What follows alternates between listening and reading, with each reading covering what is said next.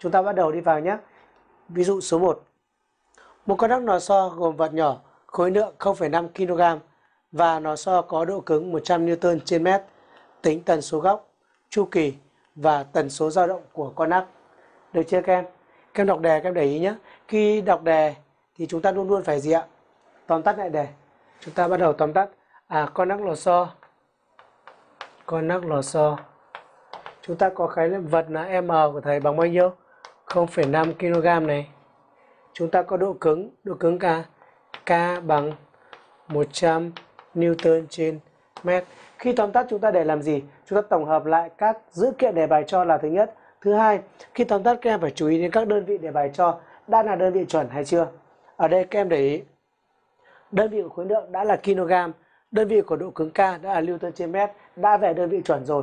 Nên hoàn toàn chúng ta không phải lo lắng về cái gì khác đúng không nhỉ? Chúng ta bắt đầu đi tìm kết quả của bài toán. Thứ nhất, tần số góc. Chúng ta đặt câu hỏi tần số góc ký hiệu là gì? Là omega đúng không ạ? Rồi, tần số góc của con đắc lò xo được tính bằng công thức gì? Chúng ta phải nhớ bằng căn bằng 2 của K trên M. Đúng không em? Chúng ta chỉ việc thay số thôi. Nào, thay số nhé. K của thầy là 100 này.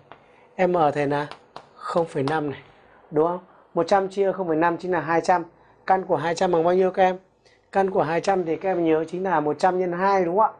100 nhân 2 thì đây sẽ là um, 10 căn căn 2 đơn vị radian trên giây được chưa nhỉ?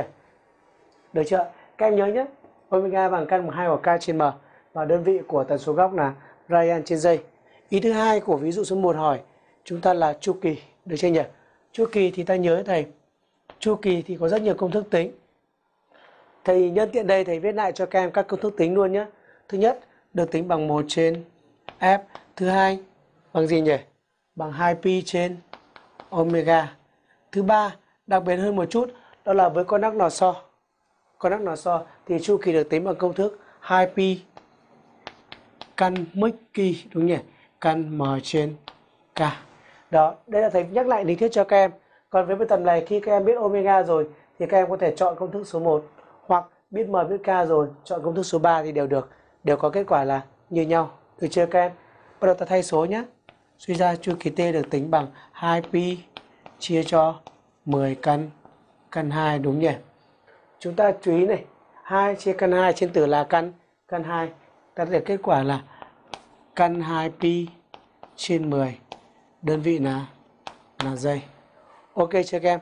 Nhớ đơn vị của chu kỳ là là giây. Tiếp theo đề bài hỏi tiếp các em đó là